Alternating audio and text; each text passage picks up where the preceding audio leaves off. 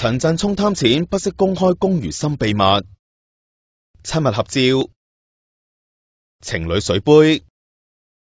甚至连龚如心嘅边都系陈振聪用嚟证明佢同龚如心系情侣，仲话龚如心爱佢爱到留晒成副身家俾佢。但法官林文汉就话佢一派胡言，正攻前后矛盾。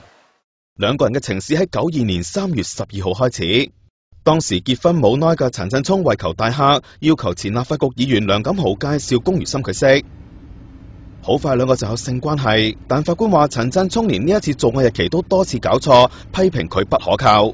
陈振聪话之后搬去华茂顶楼方便陪龚如心，就算老婆谭妙清怀有第一胎，佢都成日去煮嘢食氹龚如心，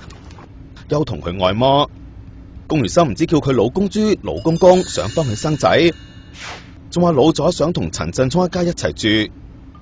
但法官话感受到谭妙清不满老公有外遇，陈振聪同龚如心倾电话都要匿埋一边。